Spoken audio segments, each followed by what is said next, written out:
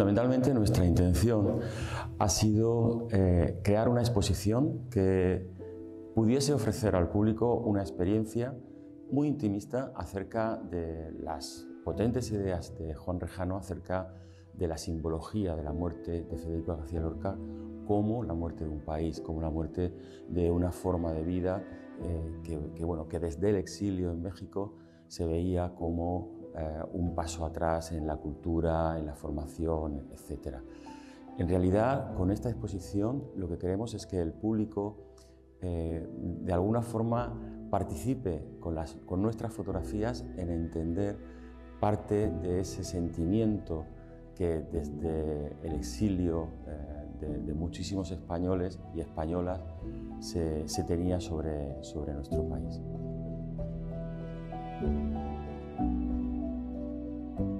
Con motivo de los 75 años de la publicación de este libro, hicimos este proyecto con, con Monty, que consiste en hacer una, una, idea fotográfica de algunos de los temas de Juan Rejano del libro, sobre todo vistos desde un punto de vista de Granada, la tierra de García Lorca, y México, que fue la tierra que acogió a Juan Rejano después de la, de, la Guerra Civil Española, en, donde estuvo exiliado. Entonces, la, la, idea es hacer una serie de tomas eh, de carácter conceptual, sin que tengan necesariamente una relación directa con los símbolos o con los textos de Juan Rejano, pero en las cuales intenta hacerse una idea y llevar un poco a esa, a esa poesía y a, esa, a ese espíritu que pudo haber inspirado a Rejano en el, para el libro.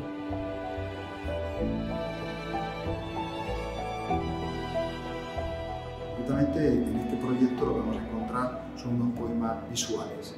estos poemas están conferidos, por un lado, por dos fotografías, una fotografía realizada por Silvia en México y por otro lado, otra fotografía realizada por Sánchez Montalbán en Granada. Vamos a encontrar paisajes vividos, soñados, eh, calles,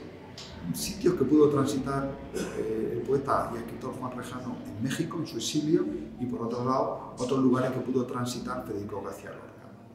Esta exposición es un homenaje a los exiliados, se le da voz a Federico, la obra de Juan Rejano, concretamente El poeta y su pueblo, es una obra dedicada a Federico García Lorca.